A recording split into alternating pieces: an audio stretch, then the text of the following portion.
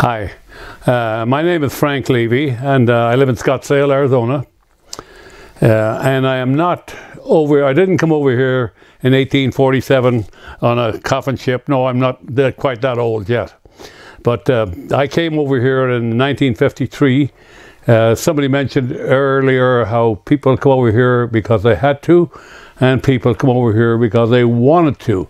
I come under that classification. I come over to the United States in 1953 because I wanted to. My wife Eileen uh, would be, I say, one of the people. She didn't exactly want to come. Uh, she didn't want to leave her, her mother and father, but um, she come because I was coming. My son Anthony was a year and a half, and uh, he was along because he had no choice. But um, uh, we came here uh, by invitation from a second cousin of my wife who uh, lived in Iowa, uh, farmed and uh, retired from the telephone company.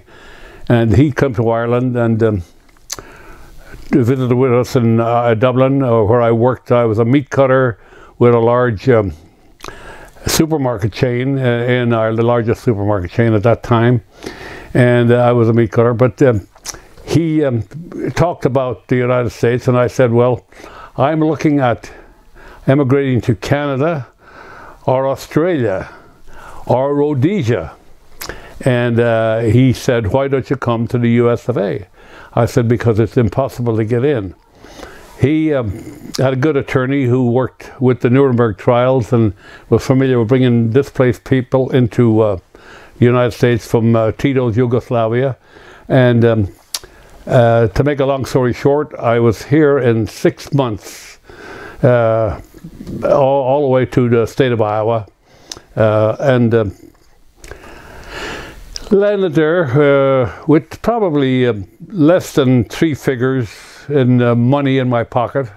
and um, got a job right away, cutting meat. Um, leaving Ireland at that time uh, was just after World War II. And of course, we grew up, I grew up during the rationing period of food and uh, gasoline. So there was no cars in Ireland uh, for public use except by the, uh, the doctors, uh, the priests, the politicians, and the police. Uh, but there wasn't too many cars for ordinary people because there was no uh, gasoline, petrol we call it over there, uh, for use. So uh, I leave, left Ireland uh, just knowing how to ride a bicycle. So uh, coming over and getting a job uh, eight to ten miles from um, where I lived at the time in Iowa, I had to learn to drive a car, and I did. Um, it was fun. I did learn. Uh, got an old car at the time, was 1939 uh, car, and of course, by in 60 days, I had torn out the cl clutch two times, uh, no problem. Uh, but uh, eventually, I did that um, driving and um, uh, continued on. I went got got my first car. Well, just go back a little bit. When I got here first and meeting the family, an extended family, um, the, their children ga gathered around us as we were sitting chatting with them, and they were looking at us uh, with a little bit of uh, disappointment.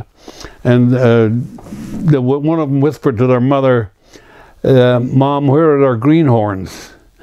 Because uh, waiting for us to come over, they kept talking about our, our coming and referred to us as greenhorns, and the kid uh, remembered that part of it. So anyway, we explained to him that the greenhorns was not uh, what we were. But uh, anyway, going forward, uh, after learning to drive my car, I, um, like I say, tore out the clutch a few times.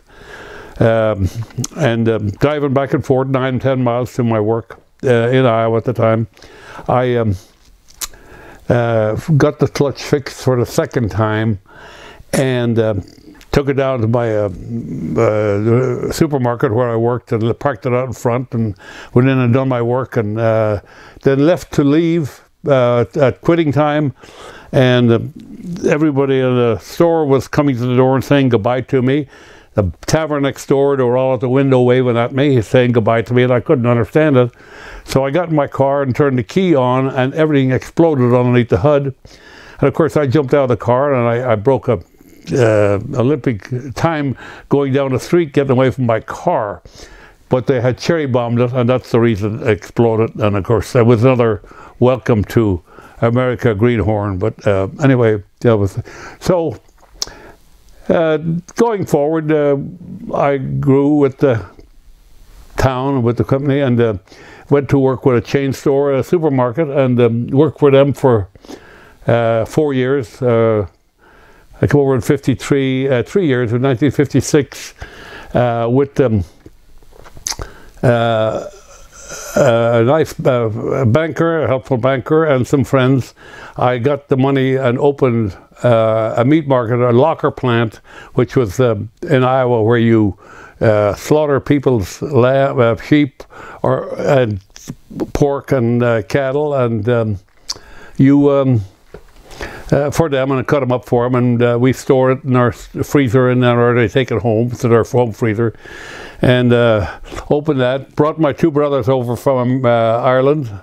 Uh, they come about three years after and we held uh, that meat market there for 17 years. And um, we're pretty well known in the area Marshalltown and um, uh, we sold a building to uh, the school board for they want to extend their library and we went our separate ways. And uh, I went uh, working for a chain packing company and uh, or a slaughterhouse packing company, and advanced to sales manager.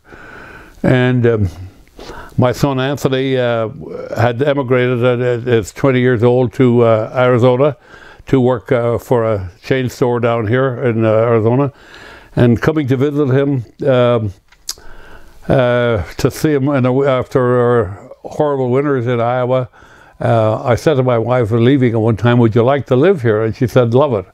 So in 1979, I moved here and um, uh, still living uh, the American dream. My, um, my children, except for the last two, uh, were raised and out working. The last two graduated from high school in 79. And with the help of my son Anthony, I got them, they both got scholarships to Arizona State one for gymnastics, one for wrestling. And uh, we moved down here in 1979 looking for a job. Uh, our intention, I was 51, and our intention was to work for 10 years and then uh, work, uh, move back to Ireland for the summers and come back to Arizona for the winters. Couldn't find a job that I, for with to get the money I thought I was worth, and um, so opened or started to do uh, something for myself. Uh, no bank would give me any money and uh, to to make a large company, so started selling um, meat, uh, the offal of meat, which livers, hearts, tongues, tails, tripe, stuff, anything under a dollar a pound and opened that and started doing that and grew from there. And going forward quickly uh, expanded and uh, did finally get the um, money uh, or um, a backing from a company in uh, Detroit and um, started uh, a meat company larger than the livers, hearts, tongues, and tails. And going forward, uh, my family joined me. Uh, my uh, older family joined me from different parts of the country and joined, and uh, we expanded to uh, San Diego, Denver, Kansas City, and Orlando, and um, it just grew from there. And we named it Harvest Meat Company. I retired at 65 and have lived a good life ever since the help of my family. The company is still still growing and uh, continue to grow. That as we sit here today, uh, our, our, you're eating your evening meal. Uh, 30 million people are eating protein from our company uh, all over the United States. Um,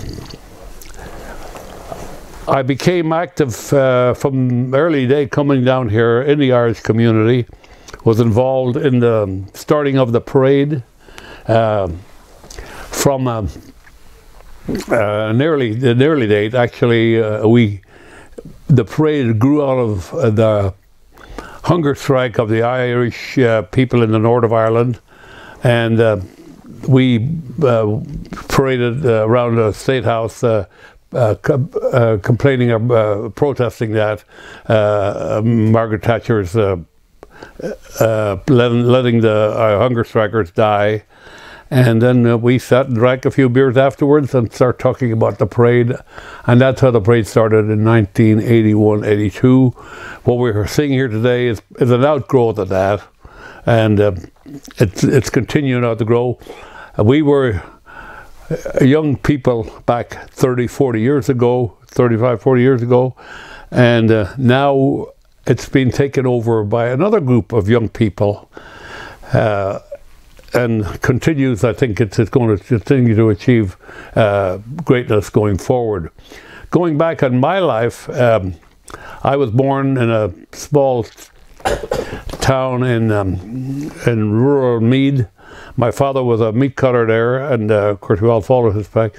His father was a cold, uh, a cold uh, a, retail or wholesale coal salesman uh, delivering bags of coal to the Dublin, the people in the suburbs of Dublin uh, back at the 1880s, 1890s, and um, he got a, he got recruited and got an opportunity to um, go to South America to uh, as a it was opening up as a great economic boon. And um, the Rome the Catholic Church uh, thought Ireland would be a good place to recruit people, Catholics, to go to South America. And my father was, my grandfather was recruited to go there. While he was there, my father was born in South America. And while he was there, his brother, who was on the home farm in County Meath, died. Back at that time, it was under British rule. The second son would inherit the land, not the widow. Now that changed for later years when Ireland got the free state because the women couldn't. So my grandfather come back from South America, brought my father with him, and that's how my father ended back in Ireland, and uh, he followed the meat trade and, uh, and then was in World War One uh, uh, with the Irish Guards Regiment and got wounded there, and. Was in the military hospital in uh, Ireland uh, recovering and uh, met my mother who was uh, who nursed them and shaved them and then uh, they fell in love and married them and that's how they got together. I was the last, the sixth of um, uh, of six children and I was born five months, six months after my father passing away. he was a diabetic and uh, my mother raised us uh, in uh, in Dublin. We moved to Dublin. I was raised, went to school there, and uh, the rest of my story you heard about it. Um, I am now um, at. Uh, I guess I'm 90 years old. I'm enjoying um, uh, definitely the American um, life. I've, I've lived I've lived the American dream, no question about that. And uh, raised in my family, a great family, with my wife. We both lived. Uh, went back to Ireland, celebrated our 50th, and went back and celebrated our 60th back in Ireland, in our home place. And uh, then it's uh, 62 years after we were married, my wife left for a better place.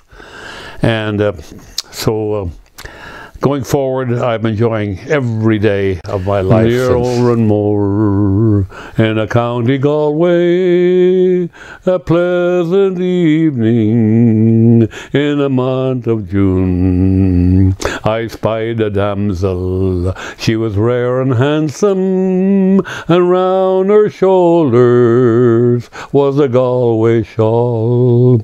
Oh, she wore no jewels, no costly diamonds no paint, no powder, no none at all. She wore a bonnet with a ribbon on it around her shoulders, a Galway shawl. We kept on walking, we kept on talking, till our father's cottage came into view. She said, Come in, sir, and meet my father, and pray, play for him the foggy dew. As she wore no jewels, no costly diamonds, no paint, no powder, no none at all. Oh, she wore a bonnet with a ribbon on it, and round her shoulders was a Galway shawl.